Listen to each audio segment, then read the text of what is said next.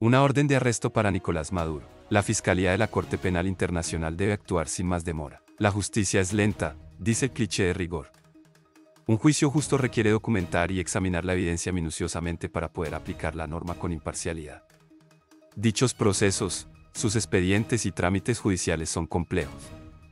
Todo ello toma tiempo, claro que no siempre es así.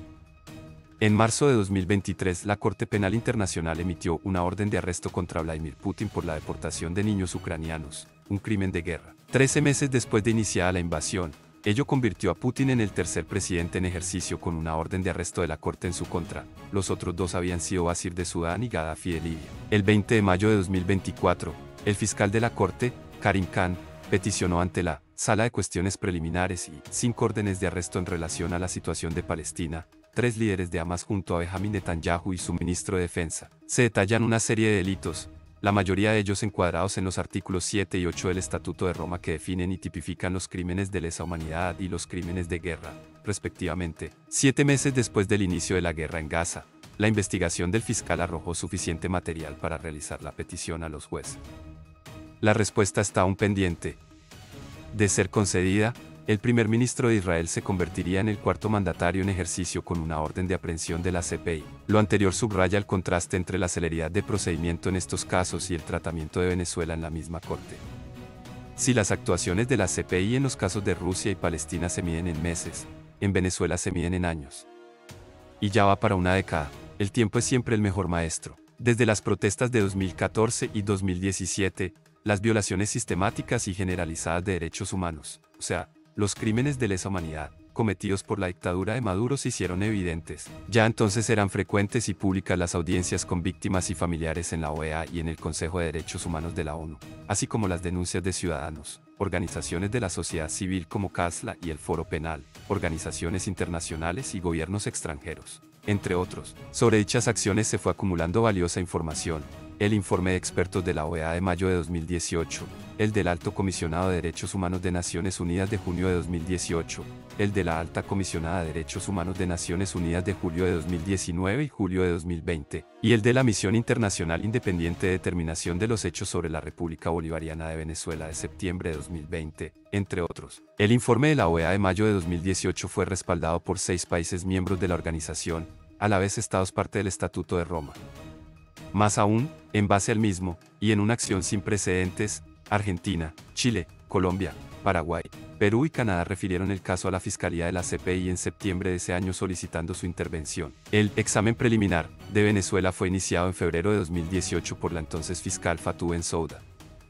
Dicho examen nunca constituye una investigación, sino un proceso para determinar si se satisfacen los requerimientos de admisibilidad y complementariedad. Ello en virtud del Estatuto de Roma que estipula que las jurisdicciones nacionales tienen la responsabilidad primordial de investigar y enjuiciar a aquellos responsables de dichos crímenes.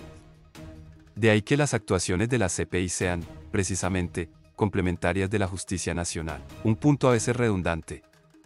Ya en los informes de la OEA y del Alto Comisionado de Derechos Humanos, ambos de 2018, se señalaba que existe más que razonable evidencia de la comisión de dichos crímenes y que el Estado no tiene la capacidad ni la voluntad de enjuiciar a los responsables, es decir, a la cadena de mando de la misma dictadura, a saber, asesinatos y ejecuciones extrajudiciales, detenciones arbitrarias, tormentos, violaciones y torturas de carácter sexual, encarcelamientos por razones políticas y el uso de la desaparición forzada como táctica represiva, todos ellos continuados y permanentes desde entonces, el fiscal Karim Khan abrió la investigación en noviembre de 2021. Ello fue anunciado en el Palacio Presidencial de Caracas, junto a Maduro y simultáneamente con la firma de un memorándum de entendimiento en el que se comprometen a trabajar de forma independiente e imparcial, pero con pleno respeto al principio de complementariedad, y en la búsqueda de la cooperación y la asistencia mutua. La repetida insistencia con la cuestión de la complementariedad, a un mínimo, ingenua. Está predicada sobre una premisa falsa, que los perpetradores se juzgarán a sí mismos, o en su defecto, facilitarán los elementos necesarios para que el fiscal pueda investigarlos y la corte, juzgarlos. Pero, además, el texto del memorándum comunica una ficción, omitiendo toda referencia a los mecanismos institucionales por los cuales un régimen criminal, en el poder por un cuarto de siglo, reproduce su impunidad. En todo caso la complementariedad debe aplicarse, el régimen de Maduro no hará justicia. Ocurre que en Venezuela no puede haber justicia, pues no existe instancia estatal alguna que sea independiente del Ejecutivo. El fiscal general, los miembros del Tribunal Superior de Justicia, el ministro de Defensa, los jerarcas de los cuerpos de policía, Ejército de Inteligencia, la directiva de la Asamblea Nacional y del Consejo Nacional Electoral, son todos aparachics del SUB, el partido del gobierno. Las referencias a lo jurídico que surgen de la Haya, a veces redundantes, le son funcionales a la dictadura para maquillar un sistema de dominación totalitario por diseño. Así fue como el fiscal Khan viajó a Caracas cuatro veces desde entonces, la última entre el 22 y 24 de abril de este año, 2024. Allí profundizó acuerdos con Maduro, habló ante la Asamblea Nacional, se entrevistó con Delcy y Jorge Rodríguez e inauguró la oficina de la Fiscalía de la CPI en Caracas. Todo muy auspicioso, considerando que Venezuela ya se encontraba en plena campaña para las elecciones ocurridas el pasado 28 de julio, coyuntura ideal para cultivar la justicia, la libertad y la democracia. Sin embargo, la respuesta de Maduro no estuvo precisamente en línea con tales nobles principios. En realidad, lo contrario, el régimen profundizó la obstrucción de la participación política usando la coerción, intentó desmovilizar a la oposición, impidió la inscripción de candidaturas opositoras y limitó el voto en el extranjero. Negó la acreditación e ingreso al país de la mayoría de las misiones de observación electoral, e intensificó la persecución política, el hostigamiento y las detenciones arbitrarias de dirigentes opositores, activistas y periodistas. Maduro vaticinó un baño de sangre y una guerra civil, si la oposición lograba una victoria electoral.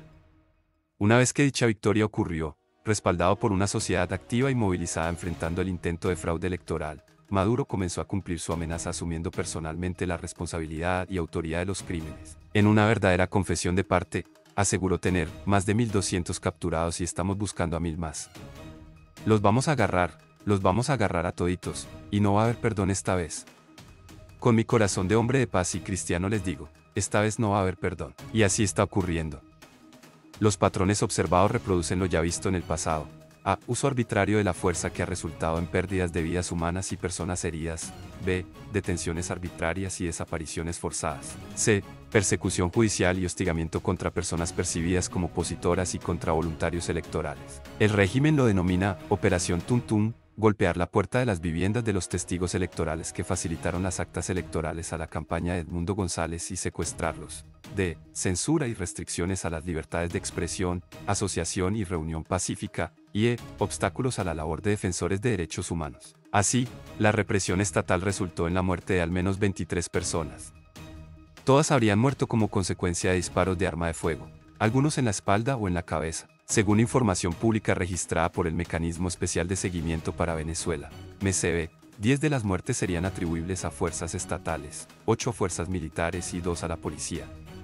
6 de las muertes serían atribuibles a los colectivos parapoliciales que actúan con el consentimiento del Estado. Entre el 28 de julio y el 13 de agosto, organizaciones de la sociedad civil han registrado al menos 1.393 personas detenidas, incluyendo 182 mujeres, 117 adolescentes, 17 personas con discapacidad. Las detenciones arbitrarias se produjeron entre jóvenes de áreas urbanas con altos índices de pobreza. Desde el 28 de julio, se han registrado aproximadamente 108 casos de vulneraciones a la libertad de expresión, incluyen la detención arbitraria de periodistas y trabajadores de la prensa, la anulación de pasaportes, el cierre de medios, la confiscación de equipos y la deportación de personal de prensa internacional. En su reciente informe, donde provee estos datos, la Comisión Interamericana de Derechos Humanos, CID, caracterizó estos crímenes como terrorismo de Estado, estrategias dirigidas no solo a la persecución de sectores específicos, sino para generar un clima de temor e intimidación entre la población venezolana. La Fiscalía de la Corte debe actuar con la contundencia del caso. Venezuela es un caso de crímenes de lesa humanidad permanentes, continuados por al menos una década. La intervención de la Corte es para reparar lo ya ocurrido, pero también para detener lo que está por ocurrir, más represión, muerte y tortura. Maduro confesó, pide a gritos una orden de arresto. El fiscal debe emitir esa orden con urgencia. La justicia podrá ser lenta, pero la justicia retrasada no es justicia. Por el contrario, es impunidad, un incentivo para seguir cometiendo dichos crímenes.